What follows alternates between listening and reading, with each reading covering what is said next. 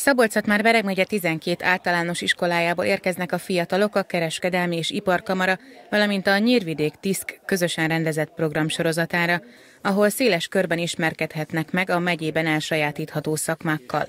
A diákok főleg 6., 7. és 8. osztályosok egy iskola, amikor megérkezik, két részre bontjuk őket.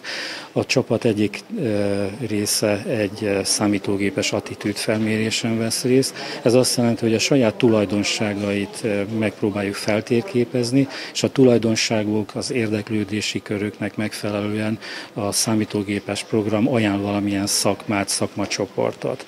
A csoport másik fele, az pedig végigmegy a tanműhelyeken, megnéz egy-egy szakmát, esetleg kipróbál próbálhatnak akár szerszámokat is, és utána pedig egy csere történik, tehát így amelyik iskola ide ellátogat, az végül is egy komplett pályaválasztási programon vehet részt. Az érdeklődők számára a tanárok mutatják be az egyes szakmákat, megnézhetik pontosan mit csinálnak, valamint azt is megtudhatják a diákok, hogy a későbbiekben hol helyezkedhetnek el a megszerzett tudásukkal. Sok diák tanácstalan még a pályaválasztással kapcsolatban, főleg nekik próbálnak segíteni a programmal. Ibrányból érkeztem, és azért jöttem ide, hogy szakmát tudjak választani a továbbtanulás érdekében, mert még nem igazán tudom, hogy hova menjek tovább tanulni. A tanműhelyekben többek között a gépi forgácsoló heggesztő, autovillamossági szerelő szakács és a CNC gépkezelő szakmákat ismerhetik meg az általános iskolások.